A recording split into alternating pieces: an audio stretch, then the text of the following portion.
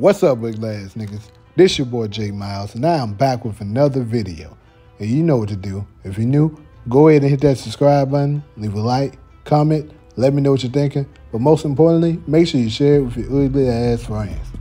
On today's video, we will be covering Power Universe, and this one would be dealing with books three and I guess you can say two, but both of them is but it's like more of a flash book. But anyway, it's gonna be titled Did Did um, Monet set up Lorenzo like Raq did Marvin? Now I know a lot of y'all glad niggas is gonna probably be jumping in saying Raq didn't set up Marvin. But in my opinion, I think she most definitely did set up Marvin, and I'll discuss that more in this video. But without further ado, let's go ahead and get into this video. So, in season one of Power Book Three, Raising Kanan, um, if you can pay attention, Raq was kind of very disrespectful towards Marvin.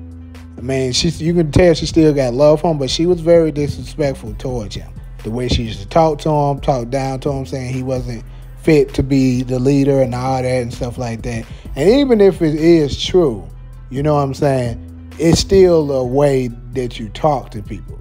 Like, and then she, you know, Marvin actually ended up checking her on what was that episode nine when he was letting her know you know, you his baby sister and you talking to him the way you doing, you're like, his voice needs to be heard. I'm still a man, which is the truth. Like you can still, like even if you over it, you can still, you know what I'm saying, talk to him in a more respectful manner. Like that's not just a regular nigga on the street. That's a that's a real nigga, uh, and then that's your older brother on top of that.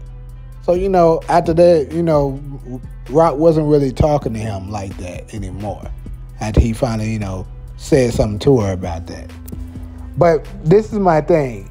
If you can remember, he also discussed that um, he when she was going off on him one of them things, he was he he put it out there and said I was set up, right?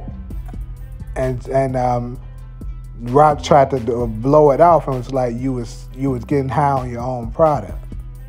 Now, I'm, I'll go ahead and say I don't have any concrete evidence at the moment that you know she that she set him up, but I think there is a very high possibility because let's look at Raq history.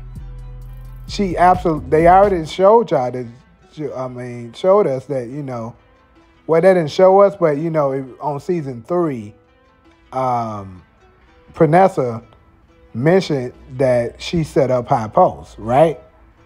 So if she set up high post, then we know she uh, who who became the you know the the boss after high post did. It was Raq. But that but keep in mind that they also said that Marvin was, you know what I'm saying, Marvin was over it before Raq was. So if he was over before Raq was, I would my guess is that Marvin must have been over High Post. So I mean he had to. How else would he have had or or let's let's just say maybe after High Post, very briefly, Marvin was over it. And then, you know, after he got arrested, um, Raq became the leader. But I mean, they didn't they didn't say it like that because I remember when Howard was talking. If you can remember, Howard was like he was talking to Unique. He was like, we all know one of the worst things that happened to the South Side was Raq taking over for High Post. So my guess is that Marvin was over High Post, and then he went inside. High Post took over. Raq set him up, and then she became the boss. So that to me just kind of seemed like, you know, that she may have had a hand in the door. Because let's not forget, Raq is a snake. And I think and Raq and Monet are both cut from the same cloth.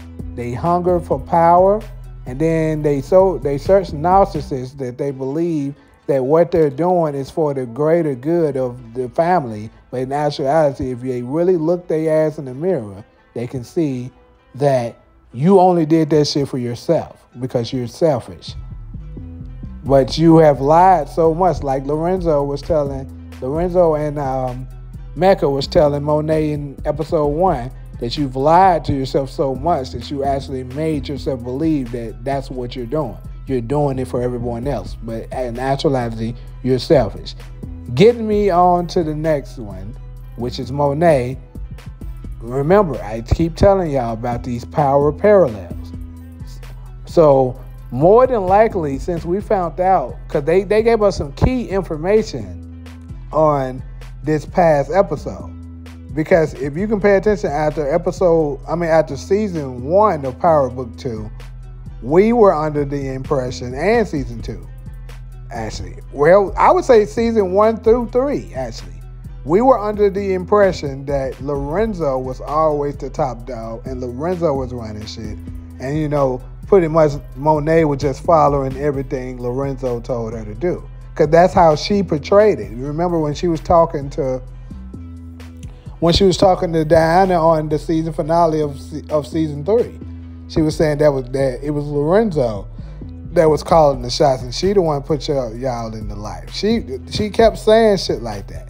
So we were under the impression that you know she, Lorenzo was the one dragged the dragged the whole family into being drug dealers. But after reviewing, you know, episode two of this new season, we can see clear as day that it was Monet who did it because she dragged Cane into it. Because what did Lorenzo tell her? Don't be mixing it with um, the family because it's got it's not going to end well. Remember that. So unless that's just the writers made doing a major major f up, that means Monet was the one who did that. And with that being said, if Monet wanted was the one making decisions like that, she knew. Cause look how Lorenzo resp- responded after um, he found out that she put that gun under there and had a gun with Lorenzo Jr. in the car, right?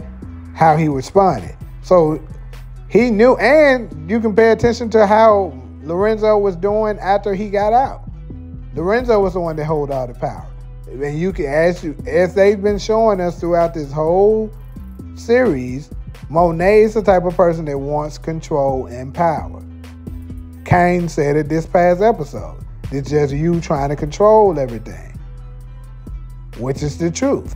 So, with Monet being the control freak that she is, I would have to go with that I believe is very much possible that she set Lorenzo up to go to jail so that she could run the shit the way she wanted to. Also, keep in mind, Ghost and Tasha did the same thing to Kanan. So there goes the parallel. It's the same thing, you know what I'm saying, happening over and over again. So that's pretty much everything I wanted to cover up in there. Y'all let me know in the comments what do y'all think? Do you think Raq set up uh, Marvin? And also, of course, do you think Monet set up Lorenzo? Let me know in the comments. But um, pretty much, you know, like usual, if you if you cool with me, fool with me, go ahead and hit that subscribe button, leave a like, comment, let me know what you're thinking. But most importantly, make sure you share with your ugly ass friends. But until the next video, I'm out.